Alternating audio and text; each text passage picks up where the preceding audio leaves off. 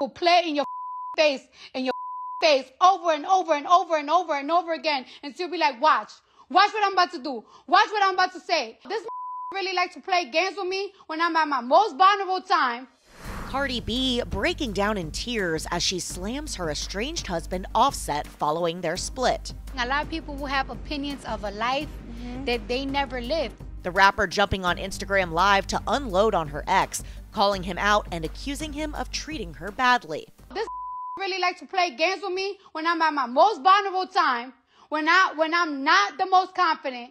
They like he likes to play games with me because he knows I'm not an easy girl. He knows I'm in my house. He knows that I'm chilling. He knows I'm not doing the most. And I've really been sparing you. While Cardi's face doesn't appear in the video, it's the first time fans hear her get emotional about the breakup. You've really been doing me dirty after so many years that I'm up your ass. Not even a thank you that I got for your and it's so crazy that I gotta go to the internet because whenever I tell you something, you don't take seriously. I feel like I've been in a lot of drama. I feel like people have thrown so many things, so many different crazy obstacles. Offset's yet to respond or even comment on the breakup, but there were plenty of public signs of trouble for these two this year. Starting in June, when Offset blasted Cardi on Instagram, accusing her of cheating, a claim she quickly shut down.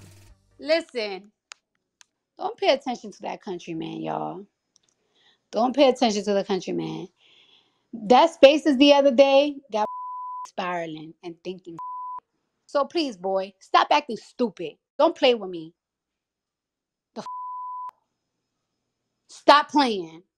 The next month, Offset confessed to making it all up. You never know how life can take it. You know, you never know.